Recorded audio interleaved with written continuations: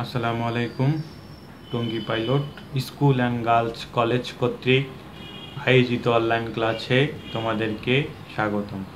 আশা করি তোমরা অনেক ভালো ও সুস্থ আছো। আজকে নবম ও দশম শ্রেণি জীববিজ্ঞান ষষ্ঠ অধ্যায় জীবে পরিবহন, এই অধ্যায়টা আলোচনা করব। তো আজকে এই অধ্যায়টার যে বিষয়গুলো আলোচনা করব সেটা হচ্ছে উদ্ভিদ ও পানির সম্পর্ক ইমবাইবেশন ব্যাপন ও ব্যাপন চাপ। এই চারটা বিষয় নিয়ে আলোচনা করব। তোমাদের এই অধ্যায়টা তোমাদের জন্য খুবই গুরুত্বপূর্ণ একটা অধ্যায়। এই অধ্যায় থেকে প্রত্যেক বছর অনেক প্রশ্ন এসে থাকে। তো সৃজনশীল প্রশ্নগুলি যদি তোমরা দেখো, দেখবে যে এই অধ্যায় থেকে অনেক প্রশ্ন বিগত সালে পরীক্ষায় আসে। তো এই অধ্যায়টা তোমাদের দুইটা অংশে বিভক্ত।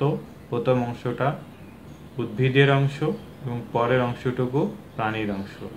তো এই অধ্যায়ে যে জিনিসগুলি আছে সেগুলি হচ্ছে উদ্ভিদ ও পানির সম্পর্ক ইমবাইবেশন ব্যাপন অবিশ্রবণ প্রচ্ছেদন প্রক্রিয়া, উদ্ভিদের বিভিন্ন প্রকার পানি ও খনিজ লবণ পরিবহন। এই অংশগুলো হচ্ছে উদ্ভিদের অংশ, আর পরবর্তী যে অংশটা সেটা হচ্ছে রক্ত, রক্তের বিভিন্ন উপাদান, হৃৎপিণ্ড, রক্ত সংবহন তন্ত্র এবং মানুষের দুইটা রোগ সম্পর্কে কথা বলা হয়েছে। এই হচ্ছে মোট এই অধ্যায়ের আলোচ্য অংশ। তো চলো আজকের যে অংশটুকু সেটা নিয়ে কথা বলা যায় তো দেখো যে প্রোটোপ্লাজম সেটা হচ্ছে জীবের একটা ভৌত ভিত্তি। আর এই প্রোটোপ্লাজমের শতকরা নব্বই ভাগই হচ্ছে পানি। এই কারণে পানিকে ফ্লুইড অফ লাইফ বলা হয়ে থাকে। তো এই প্রশ্নটা তোমাদের জন্য খুবই গুরুত্বপূর্ণ একটা প্রশ্ন যে কেন পানিকে ফ্লুইড অফ লাইফ বলা হয়? তো প্রোটোপ্লাজম হচ্ছে জীব দেহের ভৌত ভিত্তি।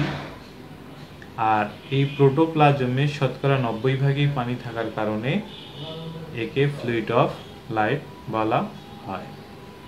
তো এরপরে আমরা দেখব যে পানি এবং উদ্ভিদের মধ্যে সম্পর্ক। এটা চারটা এ বি সি ডি চারটা অংশে আলোচনা করা হয়েছে। তো প্রথমে হচ্ছে এই অংশটুকু। তো দেখো যে প্রোটোপ্লাজম সজীব রাখতে পানির কোনো বিকল্প নাই। সংকুচিত প্রোটোপ্লাজম কোষকে বাঁচাতে পানি ব্যবস্থা করতে হয়। অর্থাৎ প্রোটোপ্লাজম যখন সংকুচিত হবে, তখন অবশ্যই সে প্রোটোপ্লাজমে পানি দিতে হবে, নাহলে সেটা নষ্ট হয়ে যাবে।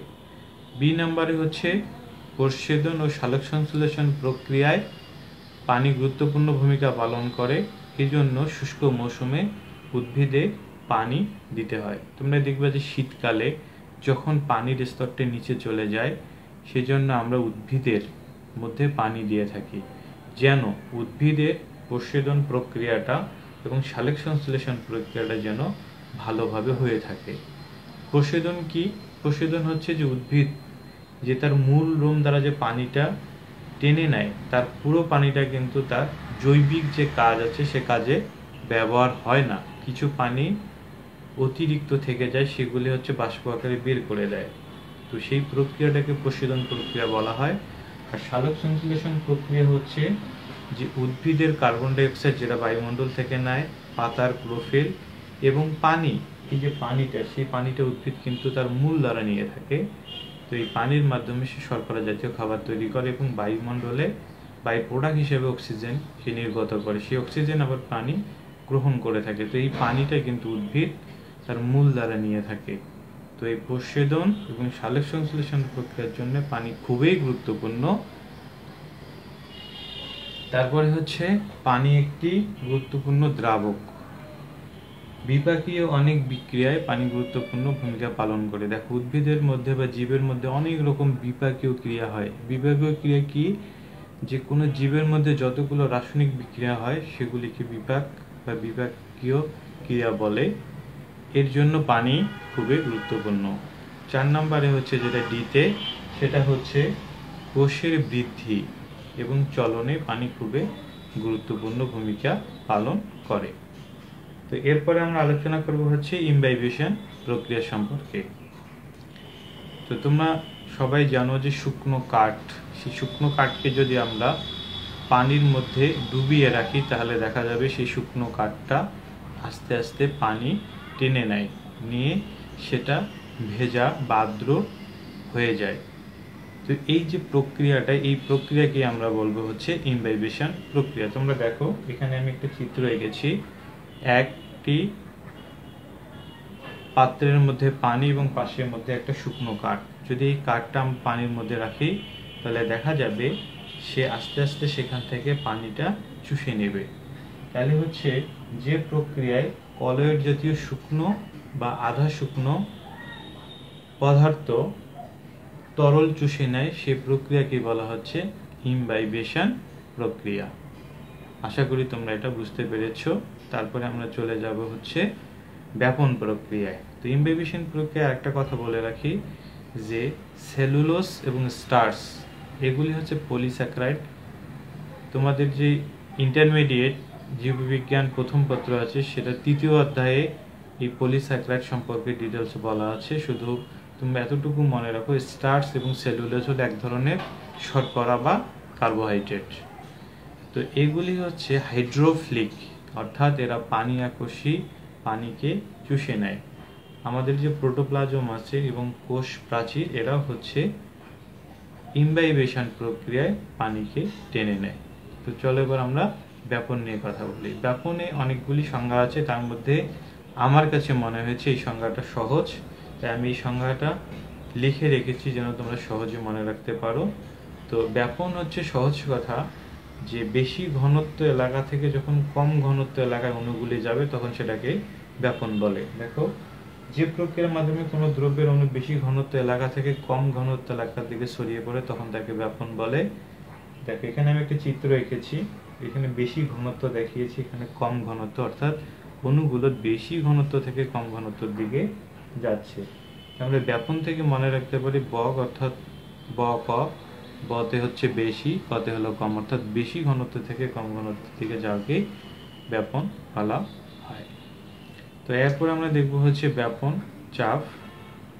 ব্যাপন চাপ তোমাদের এই শব্দটা খুবই গুরুত্বপূর্ণ, কেন পরবর্তীতে আমরা যতগুলি টপিক পড়ব, এই সামনের ক্লাসগুলিতে এখানে ব্যাপন চাপ নিয়ে অনেক কথা বলা হয়েছে।